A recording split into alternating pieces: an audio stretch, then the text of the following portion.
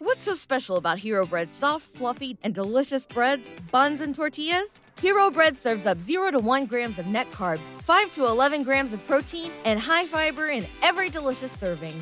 Made with natural ingredients, Hero Bread supports gut health, promotes weight management, and helps maintain blood sugar. Hero also drops other limited edition ultra low net carb goodies like rich flaky croissants and buttery brioche slider rolls. Head to hero.co to shop today.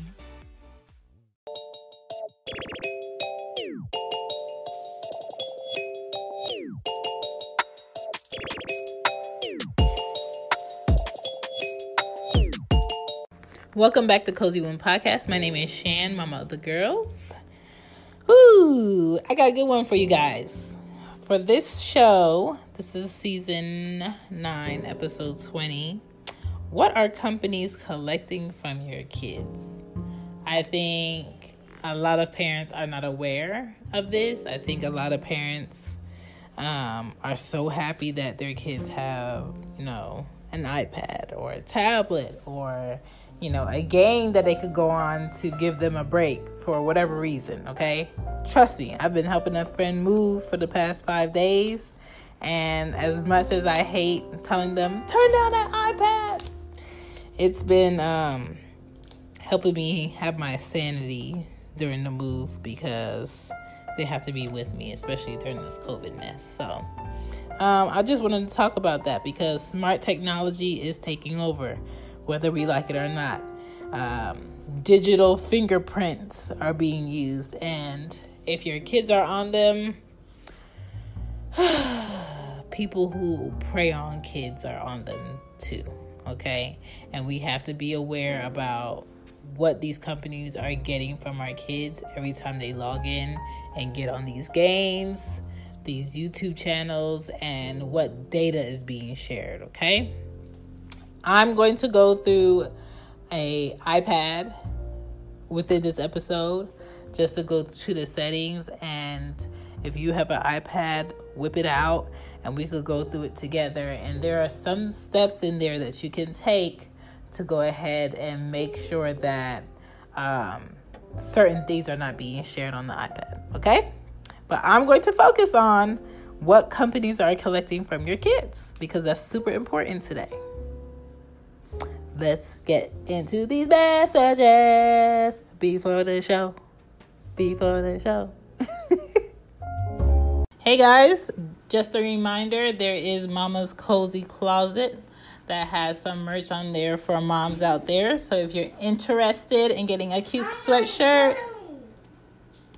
that kids again, getting a cute sweatshirt, um, a fanny pack, or a mug, I got some goodies on there for you guys. All right. Peace.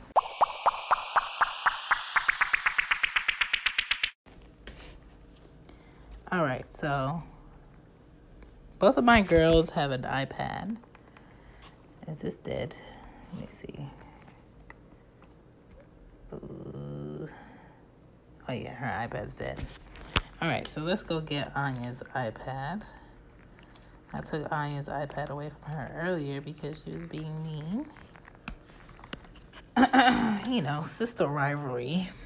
I wanted to talk about um, what companies are getting from our kids because it's super important to be aware.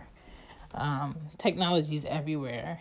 You know, whether you have a Nest, a Ring Bell, a um, Google Light, a Google Light. Yeah, they have Google Lights where you can control it with your phone. Uh, um, a Google Home is what I meant to say. They is taking over, okay?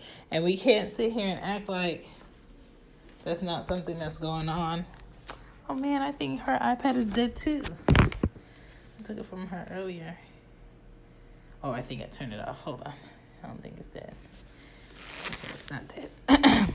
I just wanted to go through an iPad on this video while on this video on this episode while I have you guys on here. Hope you guys are doing great. Ooh, um, Anya just had a like a quote unquote fall break. It's really a break, so um, teachers can have their sanity back for a little bit. So tomorrow she starts school, and her and Ari been in there for the last three three and a half hours chopping it up, just like talking and playing and talking. And I am going to love it when she has to get up for that alarm in the morning. But, okay, if you have the iPad, you turn it on, you go into settings. When I get their iPad and I set it up, I like to go to um I like to go to privacy, okay? You go to privacy um, and you go to location services. Um, location alerts, show map, and location alerts. That's fine. App Store, I have it set to never sharing the location. Calendar, never. Camera, never. Photos, never. Um, Safari websites, never. Siri, while using it. So if she says, Siri, where's Forest Park? It'll pop up. Snapchat, um, never. Know, um, weather, ask. Then if you go into system services, it may ask you Apple Pay merchant identification. Never. Fam- find my iPad. Always keep that on just in case your iPad is missing and you can find it. Um, location based alerts for like the website. Never. Not on. Network wireless that's on setting time zone that's on share my location for the find my ipad and um, the weather that's on significant locations off if you leave that on it will calibrate and start collecting data for everywhere your child's been with this ipad okay and i always make sure that that's off ipad analytics I don't have that on popular near me. I don't have that on routing traffic. She doesn't necessarily need that on, okay? And to me, she doesn't need that. Control, you could customize the controls that are shown on here. Font, I usually have their font really like big enough for them to not strain their eyes. I um you can come in here and do screen time and schedule the amount of screen time and app limits that they can have. Let's see, app limit, um, talking time. Did your child have talking time? I'm gonna do 30 minutes of talking time, okay? And then that'll go off, okay? For Pokemon Quest, 30 minutes is not an educational game. You don't need to be on it communication limits is on. Um, choose apps you want at all times. That's on. Content prov- privacy restrictions. Block inappropriate content. Um, you can go in there and really restrict this iPad, okay?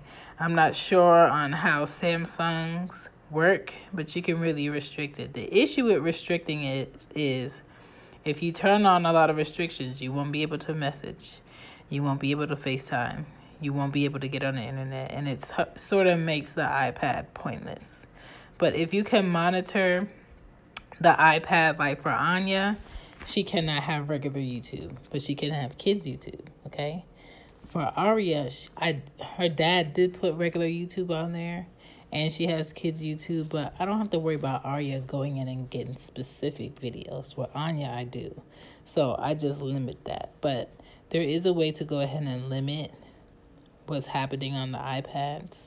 And I think we all should do that and we all should go into the safari and and look at like what our kids are looking at. I um block cookies on the iPad. Um I put the fraudulent website warning on. Ain't no Apple Pay because she has nothing on here. I block pop ups. Um, favorites is on here. Not putting frequently visited sites. Her iPad's on 10%. Um, you know, just keeping it really simple and um, ask for camera on websites ask for microphone so that doesn't automatically go on there. Um, ask location, and yeah, I just really keep my my you know, focus on what they got going on on their iPads because it's super important. So let's get into like what these companies are taking from our kids. All right. These companies. Smart technology is being used. Private info is being collected.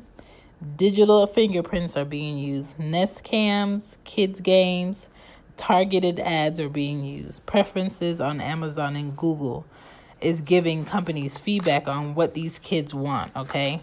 Companies have so much data collected from your kids, how they play, why they play, how many apps do they download. I don't let Anya download apps every day.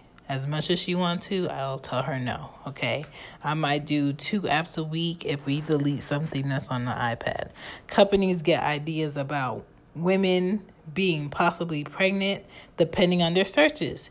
Did she search a pregnancy test? Did she search um uh you know signs that you're pregnant?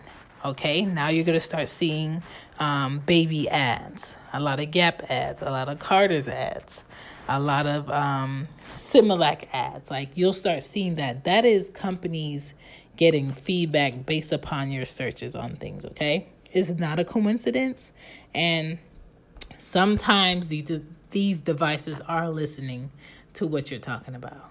Okay, so be aware of that. It's called sharenting.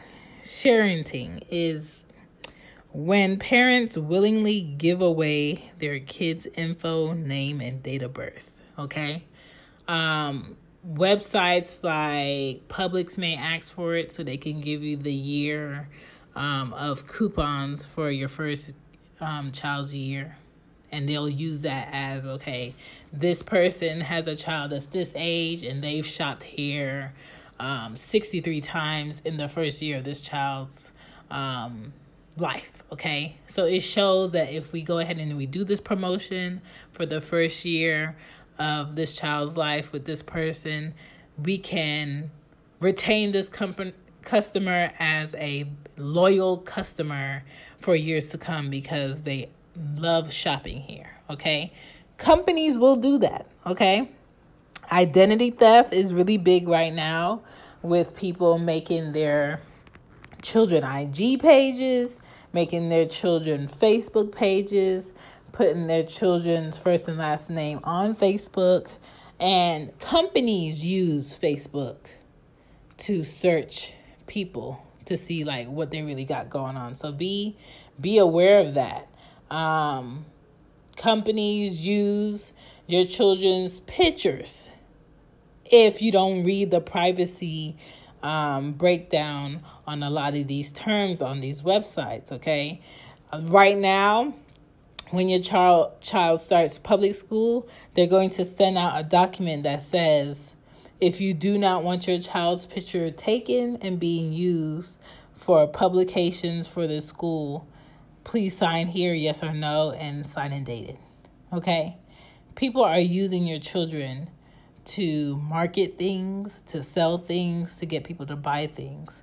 And if our child does not want to be seen, or we don't want our child's privacy being taken advantage of, put less things out there about your children, okay? No child needs a, a, a IG. No child needs an Instagram, so don't even set it up to do it. I don't have personal Instagrams for my kids.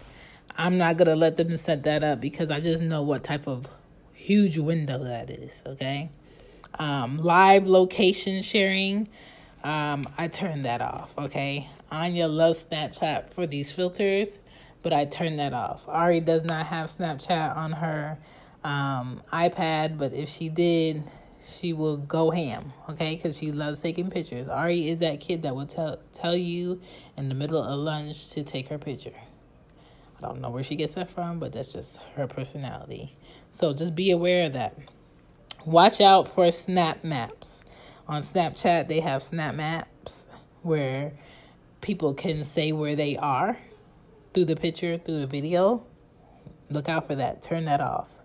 Um, smart toys are collecting info from your kids. Privacy wars are going on. The whole issue why we have the orange man talking about what American company is going to buy TikTok, um, is going to allocate TikTok, is because China has been getting a lot of people's personal information and data through TikTok for months now. And it's been in lawmakers' rooms of like topic of conversation, but everybody's loving TikTok, especially during this quarantine. It's just something to do, it's really fun. But there's always some type of underlying um, idea or thing that's happening with these apps, okay? And we have to pay attention. Posting photos of your kids versus actual photo albums is what we're living in. Who has photo albums in their house right now? I know I do. I still go to Walgreens and print my pictures and have them in the house. But a lot of people have gone completely digital. Where if these websites shut down, and Facebook shut down, IG shut downs, and and and Snapchat shut down, a lot of people won't have any pictures. Is Google Photos say, you know what, we're gonna go ahead and go ahead and cancel this whole idea? A lot of people will lose a lot of pictures and data because nobody has actual tangible anything anymore. Okay? A lot of people are raising their children completely in this digital land. Okay? Some people have no key to get in their car. Some people have no key to get in their house. They use a code or they use a fingerprint. Think about it. If your fingerprint is being transferred from a device, a physical device that you have in your home, into some type of digital uh, thing. I don't even know what you call that. And then it unlocks something. Wouldn't that fingerprint be used for something else? That fingerprint and that device has now been one. Is is joined by collecting your data from your physical body. And people don't break break that down. And if your kids physically are putting their fingerprints on devices that have location, because the the iPads, the iPhones, the iPods, if if you have an iPod touch still like me, um, the screen is fading. they all collect data. Okay, these passwords, they all collect data. And then you have companies that have created businesses based upon keeping people's passwords because everything has a password and everything wants to update a password. So it's just so much to keep tabs on, it's just so much to be aware of, but don't allow the world to get to your children before you do. Okay? Protect your children digitally. This been there's um card floating around where children can now get their own debit card and they can, you know, be in control of their money. And on this card is these kids' pictures. And I just feel like, for privacy reasons, I wouldn't want my child's picture on a piece of plastic connected to money. I just don't. Like, it's nice that they can access um, money and and finances, but why why is it that their picture, their physical picture, is on this card? Okay. And we have to be smart about these marketing campaigns that people have. We have to be smart about who has access to seeing this. I have a lot of friends. I'm not going to say a lot. I have a few friends who have children who, in their IG posts, their Facebook posts, they purposely don't show their children's faces for privacy reasons. And I understand it. In this day and age, people are stealing people's pictures from their kids, making new pages. I just had a um, a fake page contact me on Cozy Womb on IG, trying to tell me about um, this grant that's going around. And the person for the real page contacted me and said, Can you please report that page because it's fraudulent? Like, these are times where people are quick to share information because they are in need, and then whoop, boom, there you go. Your account's empty, uh, charges are being charged, your friend just so happened to change their number and they're contacting you and they need X amount of money because they need a tow truck. Like people are being really um quick about how to get some quick quick quick cash. And we have to be smart about what we expose our kids to. Read the terms and conditions of these websites, of these games. Um, a lot of people think it's so cool to have a grandbaby or you know a baby that's very popular on instagram. Um, ig kids is a cute thing to do. Uh, allowing your child to have a instagram page you know that's a cute, cute idea. To an extent to an extent because i don't know i grew up as a kid that played outside i was never concerned about being on a computer as a kid um, even when there was AOL dial up, I wasn't really on it like that. Um, I feel like kids deserve to be kids. They're going to have so many years where they can be on a computer and a device for work or to pay bills and things. Let them be kids. Let them go out and play. Let them um, interact with other kids. Let them feel something tangible and, and stop you know, wasting away their eyesight and their fingers and their their minds of buying more coins and building more Roblox and, and like come on. Like we have to give our kids a break. These companies are no longer interested in us. These iPhones and iPads, they're not for us. They're for our kids. Okay? You look at your whole kids' virtual setup right now with school it's like they're at work in corporate America. They have their mouse pad, they have their laptop, some of them have their own desk, some of them have like their own files, folders, um, books. Uh, they're clicking in and out of Zooms. They know how to use the search engine. Like they're setting up our children to be workers in the world very fast. It's no coincidence that this quarantine and this COVID 19 that's patented since last year. Vaccine um, is patented. This this COVID 19 is patented. It's setting up our children to be workers. Okay? So just be aware about what these companies and their agenda is when it comes to our kids so we can make better decisions. That's all I'm saying because if I peep it, I know there's some other parents out there that peep it. Okay? And it's very, very, very, very smart to go back behind your kids and ask them about games that they're playing and see how they win in the game and what's the whole idea behind the game. And how long have you been playing the game? And why do you like this game so much? And what is the game saying? Even the Talking Tom. Talking Tom is an interactive cat that repeats what you say. And you can touch things on Talking Tom and he'll react. But Talking Tom is always listening. What information is a company getting behind Talking Tom?